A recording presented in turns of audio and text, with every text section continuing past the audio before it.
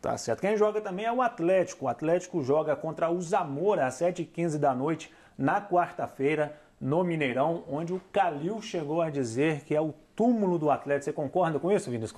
Não, não concordo, até porque o Atlético jogou durante muitos e muitos anos no Mineirão, suas, os grandes títulos que o Atlético tem na sua história, a exceção do Campeonato Brasileiro de 71, mas o Atlético conquistou dentro do Mineirão, né? Nós estamos falando de um Mineirão como um todo, né? Desde a sua fundação em 65. Mas você pode colocar 71 também, porque apesar do Atlético ter conquistado o título no Maracanã, ele, a campanha foi toda no Mineirão, né? Foi toda no Mineirão e o Atlético ganhou de 1 a 0 do São Paulo no primeiro jogo do triangular decisivo.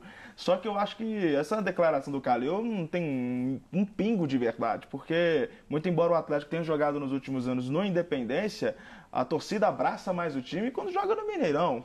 Se dá mais chance da torcida comparecer, se dá mais oportunidade do torcedor ver o Atlético, porque o Independência só cabe 22 mil pessoas. No Mineirão você tem a oportunidade de colocar 40, 50, 60 mil torcedores lá. Não acredito que chegue a esse público nesse jogo contra o Zamora, mas é muito importante que o torcedor, embora as críticas ocorram, abrace o time, porque o Atlético precisa vencer essa partida contra o Zamora, porque se não vencer, rapaz, vai ficar muito difícil a situação do Atlético no grupo, porque a expectativa que foi gerada no Galo para essa Libertadores foi outra completamente diferente. Vamos ver então como é que está a situação do Atlético nesse grupo, um grupo F da Libertadores. O Atlético é o lanterna. O Cerro Portenho e Nacional, os dois têm seis pontos. O Zamora zero, o Atlético zero. Os dois líderes se enfrentam na próxima rodada, é. né? Então, e aí, qual seria o melhor resultado para o Atlético, levando em consideração que o Atlético vence o jogo dele? Pois é, a gente pode. Se, se o empate aí, os dois vão ficar com sete pontos, e a gente pensando que o Atlético vai vencer em casa, o Zamora, e aí já cai para quatro pontos. Ou talvez, quem sabe, um time disparar, né? Ou ser é. um portenho disparar, ficar com nove, o Atlético buscar de fato pela segunda vaga ali, talvez seja.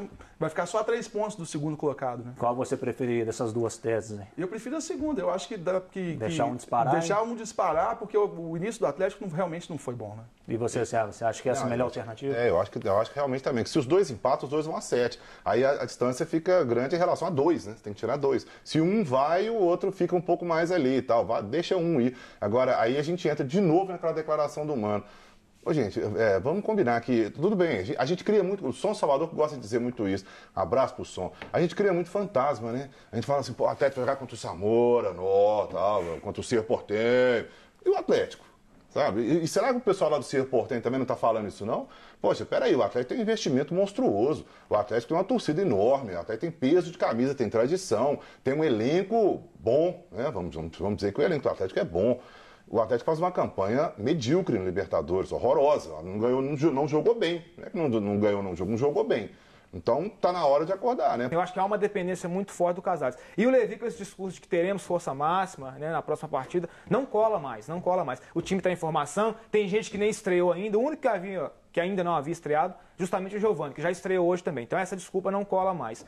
E no particular do Calil, né, que você comentou anteriormente, o Calil, enquanto presidente do Atlético, ele teve dificuldades para negociar com o Mineirão. Então acho que é por isso, haja uma certa mágoa também. E aí precisou de um outro presidente assumir o clube para o Atlético voltar a jogar no Mineirão. Né? Mas aí é inquestionável.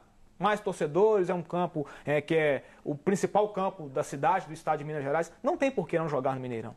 Não tem porquê.